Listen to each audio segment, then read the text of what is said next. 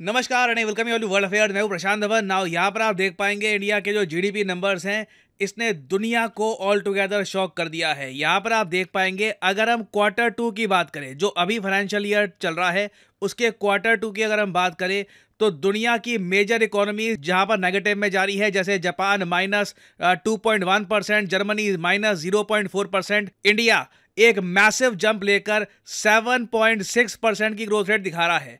अगर हम बाकी इकोनॉमीज भी देखें, चाहे चाइना की इकोनॉमी देखो चाइना भी फाइव परसेंट से कम ग्रोथ रेट दिखा रहा है। वियतनाम भी पाँच परसेंट के आसपास है। India head and shoulders above लग रहा है compare to the rest of the world और देखो, जब दुनिया एक्सपेक्ट करे कि आप इतना ज़रा अच्छा परफॉर्म नहीं करोगे बट आप सबकी एक्सपेक्टेशंस को बीट करके ओवर परफॉर्म करते हो, तब मज़ा आता है।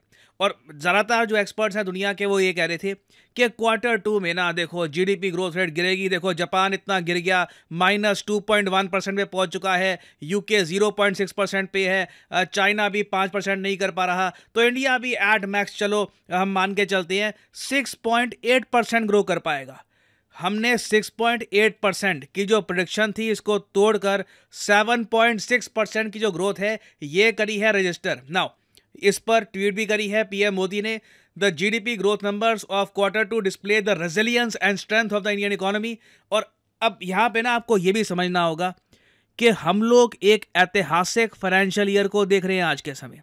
अभी जिस डेटा की हम बात कर रहे हैं, जो सेवन पॉइंट सिक्स परसेंट की हम बात कर रहे हैं ना, ये ग्रोथ रेट है 2023 के जुलाई से लेकर सितंबर महीने की। अभी जो पूरी ग्रोथ रेट होगी 2023 से लेकर 2024 तक की, इसको अगर हम कैलकुलेट करेंगे ना तो एक उम्मीद बन रही है कि हो सकता है कि इंडिया सेवन परसेंट या फिर उससे भी ऊपर एनुअल ग्रोथ रेट दिखा दे, क्योंकि इससे पहले जो क्वार्टर वन गया था अप्रैल से लेकर जून तक का जो टाइम था 2023 का, जिसको हम कहते हैं क्वार्टर वन ये क्वार्टर वन अभी हम क्वार्टर थ्री में हैं और उसके बाद क्वार्टर फोर आएगा।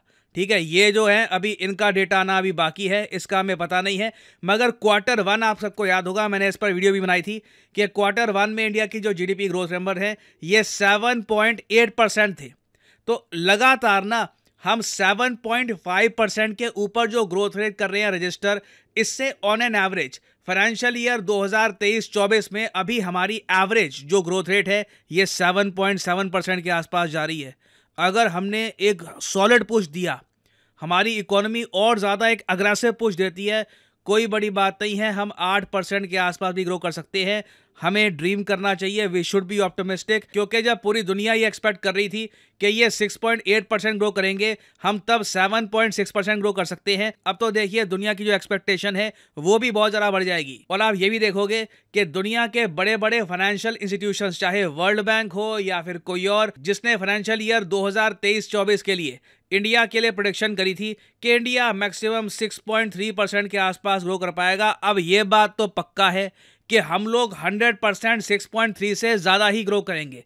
कितना ज़रा ग्रो होगा? के जी seven percent seven point five percent ये हमको पता लग जाएगा क्वार्टर थ्री क्वार्टर फोर के नंबर्स देखकर। बट अभी के लिए ना, एक आप कह लीजिए, बहुत ज़्यादा अच्छी लॉन्चिंग पोजीशन पे हम आ चुके हैं। अब एक क्वेश्चन यहाँ पे आप पूछेंगे, मगर ये सब हुआ कैसे?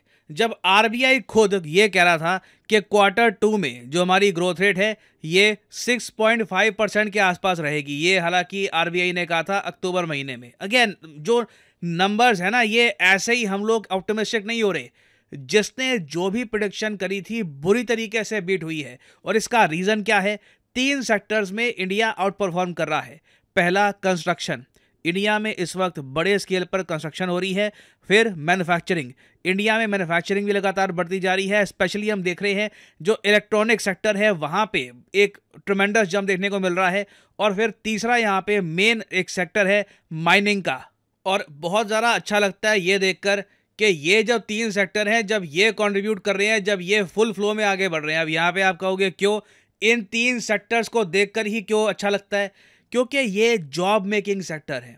अगर मैं कंस्ट्रक्शन सेक्टर की बात करूँ ना तो भारत का सेकंड लार्जेस्ट एम्प्लॉयमेंट जनरेटर है कंस्ट्रक्शन सेक्टर तो कंस्ट्रक्शन सेक्टर अगर हमारे देश की जो इकोनॉमी है, इसमें एक अच्छा पुश दे रहा है ना तो मतलब कि कई हज़ारों लाखों लोगों को ना पूरे देश में कंस्ट्रक्शन की फ़ील्ड में जॉब्स भी मिल रही है जॉब्स आर अवेलेबल देयर और कई एस्टिमेट्स हमको ये भी बता रहे हैं कि भारत का जो construction sector actually real estate sector कहना चाहिए ये 2030 में, जो अब इतना दूर रहा नहीं है, छह साल की बात है, एक वन ट्रिलियन यूएस डॉलर का सेक्टर बन जाएगा, जो अभी के लिए आप कह लीजिए इसका जो टोटल साइज़ है यूएस डॉलर्स ये 650 से लेकर 700 डॉलर्स के आसपास है। तो ऐसा नहीं है कि कुछ ऐसे सेक्टर्स जो बहुत कम जॉब्स क्रिएट करते हैं, वहाँ से ग्रोथ आ रही है, क्योंकि इंडिया का एक मेजर कंसर्न यही है कि जो अनएम्प्लॉयमेंट रेट है, वो भी हमको कम करना है जॉब्स प्रोवाइड करनी है, ताकि लोगों के पास परचेजिंग पावर आए, वो लोग कर को वो पैसा स्पेंड करे, और एक साइकिल शुरू हो जाए कंजम्पशन और स्पेंडिंग की।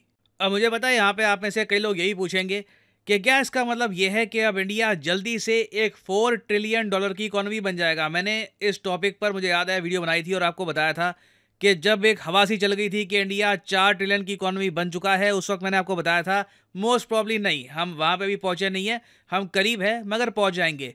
अभी भी मैं आपको अगर बताऊँ तो जिस स्पीड से भी हम जा रहे हैं ना आरबीआई अगर मान लो कहता है कि हम सेवन परसेंट के ऊपर भी ग्रो करेंगे, तब भी फोर ट्रिलियन का आंकड़ा थोड़ा सा दूर है। मोस्ट प्रॉब्ली फोर ट्रिलियन का जो आंकड़ा है, ये हम फाइनेंशियल ईयर 2024 के ख़त्म होने के बाद ही अचीव कर पाएँगे। मोस्ट प्रॉब्ली अगर हम आईएमएफ का डेटा देखें बाय द वे आप अगर आईएमएफ के नंबर्स देखोगे ना फोरकास्ट के भी, वो भी अब एडजस्ट कर लिए गए हैं। वापस यहाँ पे आप देखोगे आईएमएफ के नंबर्स के हिसाब से भी इंडिया की जो जीडीपी है नॉमिनल जीडीपी ये 3.7 ट्रिलियन डॉलर्स दिखाई जा रही है। तो अभी टाइम लगेगा। ठीक है, बिल्कुल जापान की इकोनॉमी नेगेटिव में जा रही है, कई और फैक्टर्स भी हैं but it will take some time however ये बात गारंटीड है थोड़ा सा टाइम और लगेगा और इवेंचुअली हम जापान को रिप्लेस कर देंगे।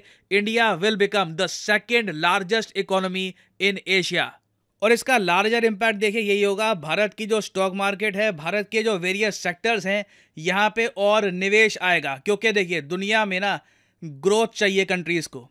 और ग्रोथ अवेलेबल है नहीं। चाइना जैसे मैंने आपको बताया, इस पूरे फाइनेंशियल ईयर में पाँच परसेंट के आसपास की ग्रोथ रेट दे पाएगा। दैट इज़ मिनिस्क्यूअल देखो, मैं आपको साफ़ साफ़ बता रहा हूँ चाइना रेस से बाहर हो चुका है। इन्वेस्टमेंट अट्रैक्ट करने की जो दौड़ है, उसमें चाइना अब एग्जिस्ट करता नहीं है। इंडिया का जो मेन कंपटीशन है इस फाइनेंशियल ईयर के लिए, ये फिलीपींस और वियतनाम के साथ है। उस केस में भी आप अगर देखें तो इंडिया हेड एंड शोल्डर्स ऊपर है। तो अब होगा क्या कि बहुत सारे जो पेंशन फंड्स हैं, इनका पैसा इंडिया में आएगा, निवेश किया जाएगा, लंबे समय तक।